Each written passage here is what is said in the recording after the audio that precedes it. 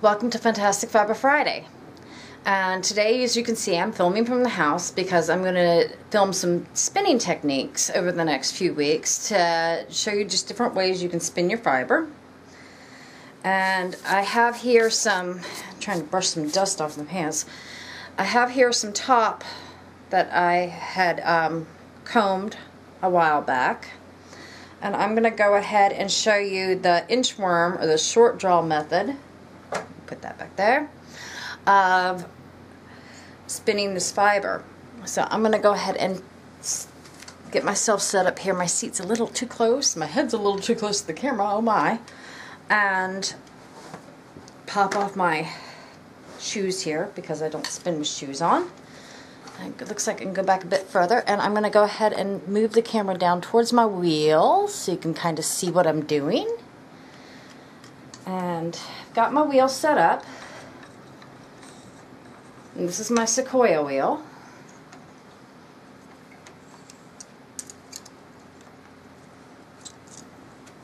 Hello, Aussie. And I'm going to go ahead and spin up, just start spinning this, and I'm going to use what's called the inchworm method. And this is the method most new spinners learn right away. Let me see if my brake's tight enough to pull anything on. Okay. There we go. Oops, maybe I need to go the other way. There we go. See, I have it attached to my leader here, my fiber, and I'm going to go ahead and start spinning it. Some spin going up there, and all I'm doing is basically inchworming my way along.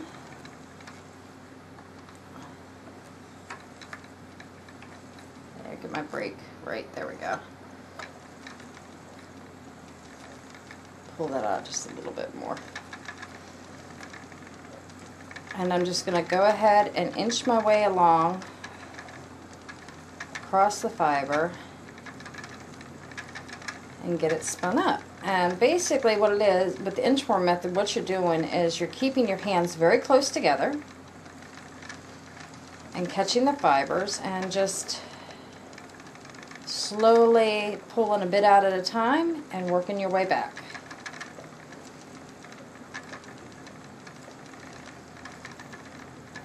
And this is some fiber that's been, um, I've had for quite some time, so it is a little bit compacted. And sometimes when that happens, you can give it a shake out to kind of loosen it up a little bit. But basically all I'm doing is, like I said, just moving my fingers back a little bit. I stop the twist and pull forward and then let the twist come back. And you have a lot of control over the diameter of your yarn this way.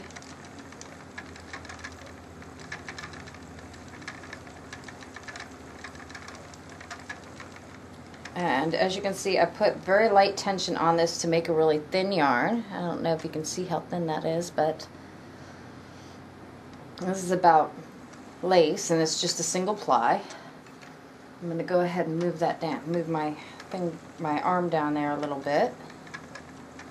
My hook, I guess you could say, because this um, this wheel actually has a slider hook instead of several hooks on it.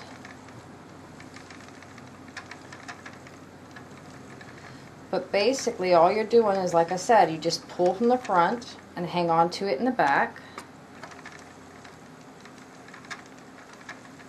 And draft as you go. And I'm trying to blend the two colors together a little bit. And some spots I'll have more green and in some spots I'll have more purple. But that's how I actually um, comb this to be two colors. I always like to put green and purple together. And a lot of times along with orange too because I like orange.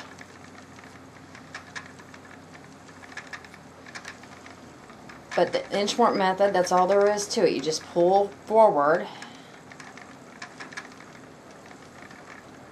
and let the twist climb up. Pull forward Let the twist climb up and then you catch it again. You don't want your twist to go behind your pulling hand, or your drafting hand rather.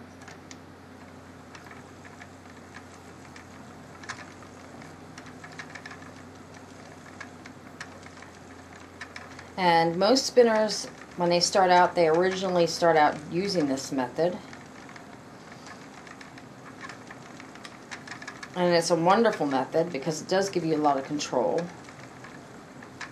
And as you can see, I'm sitting pretty far away from the wheel. And when I first started out spinning, I used to actually sit, let me slide that down again, really close to the wheel, like right here and I would often lose my fiber up into the wheel. And with this wheel, because the orifice is a little bit higher too, I sit back a little bit further.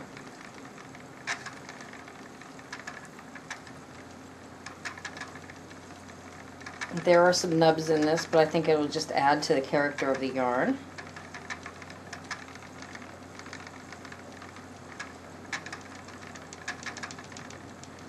And that's basically it. That's your inchworm method of spinning. And I will be back next week with long draw spinning. This is Brandi Schoch at the Fibromabine. Oh, let me move that because I don't like being crunched. There we go. I hope you have a wonderful weekend, and I will see you next week.